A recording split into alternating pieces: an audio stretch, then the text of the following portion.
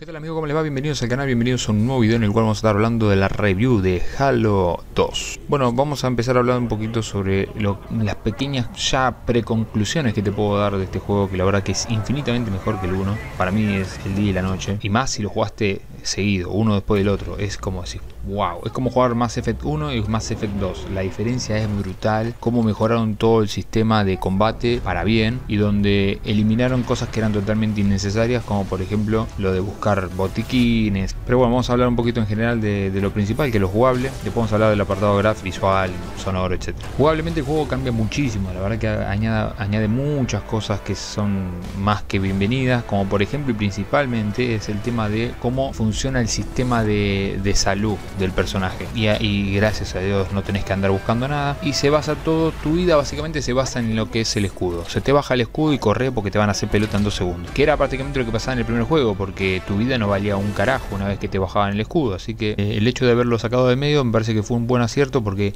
ya sabes que te bajan el escudo y sos boleto. Entonces te centrás en ese punto, pero te puedes concentrar más a la vez en la acción del mismo juego. O sea, podés medir de alguna manera tus acciones de acuerdo a tu nivel de escudo y eso me parece que está muy bien. Otra de las grandes cosas que veo es la interacción con las armas. Eh, veo que se añade el subfusil y hubo como pequeñas mejoras solamente para la pistola. La pistola es infinitamente mejor que en el primero súper rápida, súper precisa, me encantó la pistola. No me gustó mucho el subfusil y casi que no me gustó tanto la escopeta, porque la escopeta en el primero era como que podías disparar a 100 metros y pegarle al enemigo igual, eh, y tenía bastante fuerza. En este juego está bastante más bufiada y no se puede, digamos, pegar un tiro certero a menos que los tengas casi a dos pasos, pero igual aún así tiene mucha munición y me parece muy bien. Después las armas enemigas son muy buenas, todas prácticamente creo que son mejores que las de los humanos, aunque en el lado humano lo que está muy bien es el tema de los vehículos, que el tanque es precioso. O sea, el tanque es como para mí la mejor, el mejor vehículo de,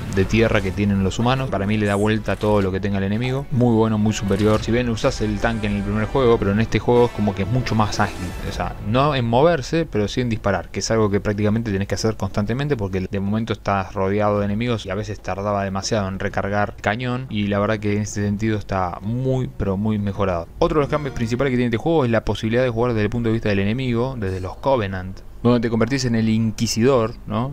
Sos un ser que ha perdido todo tipo de honor en batalla y es condenado básicamente a la, por decirlo así, a la perdición o a la humillación constante, pero el consejo, que es este grupo de tres personas que son los que bajan línea totalmente en toda la civilización, mejor dicho, en esta colisión galáctica, porque es un grupo de muchas civilizaciones que están atrás del mismo objetivo, pero todas digamos, basadas en una especie de mito religioso que tiene esta gente que son los sacerdotes, los los profetas, eh, que de alguna manera se aprovecharon de la poca inteligencia de estos seres para su beneficio, porque la verdad que no sacan nada y son prácticamente esclavizados de alguna manera para servir a un bien que ellos digamos no entienden. Y bueno lo utilizan a este personaje lo convierten en inquisidor. Bueno en todo ese interín pasan un montón de cosas donde realmente vale la pena que lo jueguen y que lo, y que lo disfruten para poder entender un poco más la historia pero que me parece muy bueno el punto de vista de trabajar o sea de jugar con el enemigo y entenderlo un poco más, porque ese enemigo después resulta que va a ser eh, un aliado. Así que es muy bueno como está desarrollado. Si bien es un pequeño spoiler, pero bueno, quiero decir, está muy bien pensado y desarrollada esa parte donde se disfruta muchísimo. Quizá no tanto como jugar con Master Chief, pero está bastante bien porque por ejemplo hay zonas oscuras que en realidad no es tanto el problema, pero por ejemplo Master Chief tiene la linterna, este personaje tiene un camuflaje que está bastante bien porque en algunos momentos el juego, te digo la verdad, eh, podés pasar de escena a escena, o sea, de parte en parte directamente corriendo, te camuflas y le das para adelante, en algunas partes se puede hacer así y evitas la confrontación y todo, pero bueno, solo en partes muy específicas. Con Master Chief también puedes hacer eso, pero no es tan fácil. O sea, sos más visible obviamente y, comes bastante más seguido. Aparte algo que está muy bien es que cuando juegas con el Inquisidor las tropas de los élites no te, no te atacan a vos. Digamos, en algunos momentos los usas, va, son aliados tuyos básicamente. Está muy bien cómo se desarrolla la parte de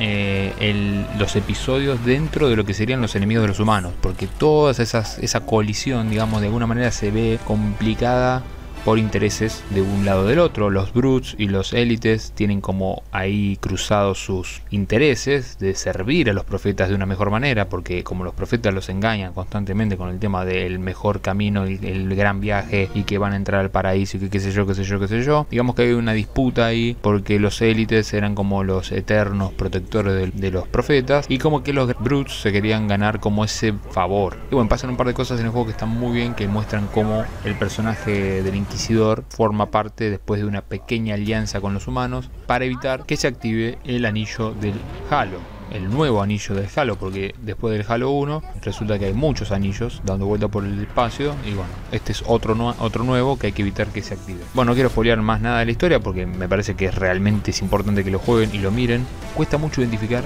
a dónde ir, o sea, es como intuición. Yo ya veo un camino, me mando. Si veo que me aparece punto de control, ya sé que por ahí tenía que ir. A veces, como digo, no es el caso, pero creo que vuelvo a decir, es un juego, es un error de diseño de cómo está pensado el juego, porque obviamente hoy muchos juegos te indican hasta un poco más todo lo que tienes que hacer, ¿viste? Si bien no me costó mucho trabajo, en el primero era mucho más complicado entender cuál era el camino, en este me resultó bastante fácil y por eso entiendo que el juego duró menos, no sé, si bien tenías más misiones, y aún así me pareció un juego que lo pasé mucho más rápido. O sea, y además que fue muchísimo, muchísimo, muchísimo más divertido. Mejor explicado, mejor contado, mucho más emocionante, los dos puntos de vista, las escenas finales están muy bien. Aunque algo que no me gustó mucho fue que no hubo grandes enfrentamientos finales. O sea, era muy soso esa parte, ¿no? O sea, por ejemplo, eh, te mandaban a buscar a un personaje X que tenías que matar y cuando llegabas era simplemente, no sé, apretar un botón y bueno, lo matabas de una manera bastante simple cosa que me pareció un poco al pedo, ¿no? O sea, si llegamos hasta acá, déjame que sea más o menos glorioso el final. Algo que mejoró increíblemente es también la música. La música es bárbara. Los cortes musicales en las escenas de acción están pero muy, pero muy, muy buenos. Y están remasterizados obviamente. Si escuchan la versión original son más apagados. En la versión remasterizada están muchísimo mejor. Más con más pegue y con muchísima mejor calidad, infinitamente, la verdad. Eh, así que puntazo para la música y el sonido en general. Y algo que no me gustó para nada, estando dentro del tema de, de audio, es el doblaje latino. Qué patada en las pelotas algunos diálogos que parece que lo hicieron, no sé, sin ganas, eh, mal dirigido, malísimamente escogidas las voces. Algunas frases parece que no sé si son mexicano, colombiano, ecuatoriano, argentino, chileno, no sé. Quiero decir, no, no, no pegan, o sea, están como puestas por un fan mal hecho y hasta resultan cómicas a veces, ¿no? Pero creo que si lo pueden jugar en, doblaje original mejor, aunque si quieren reírse un poco la verdad y decir qué malo que está hecho esto, escúchenlo en latino. Caso totalmente diferente con Halo Reach que tiene un doblaje latino perfecto o muy bien si quieren para el estilo de juego. Y el que estoy jugando ahora en Halo 3 está, pero también años luz de este juego. ¿Por qué tan mal? O sea, es muy feo el doblaje latino que tiene. Voy a ver si puedo conseguir alguna en videito para ir dejándoles de fondo. Y la verdad que, vuelvo a decir, es un juego que en, redondo, digamos, está bárbaro. Aunque el final, yo creo que para la época en que se lanzó, habrá sido como un golpe duro. Porque fue un final así hiper abierto totalmente. Pero no al estilo de no al estilo de Mass Effect 2 si quieren, ¿no? Donde fue una final bestial con unos momentos muy implicantes en el juego, donde ya solo el final del juego 2 de Mass Effect tenía como un desenlace brutal y que obviamente te iba a marcar el siguiente juego. Acá es como todo muy, si bien está pensado para una tercera entrega, es como muy abrupto y no me lo esperaba. La verdad es esa. No está mal, pero quiero decir, imagino que además de algún fan habrá dicho, no me podés terminar el juego así, amigo. Pero bueno, ahora estamos jugando el 3 y vamos a ver cómo sigue. Pero la verdad, en sí, el juego es bastante bueno como juego por sí, pero es muchísimo mejor que el primer Halo. Y, la versión que está remasterizada es gloria bendita. Así que jueguen, disfrútenlo. Y bueno, nada más que decir por ahora. Em, nos hablamos y nos vemos en el próximo video que calculo que será cuando termine Halo 3. Y bueno, en fin, hasta la próxima. Chao, chao.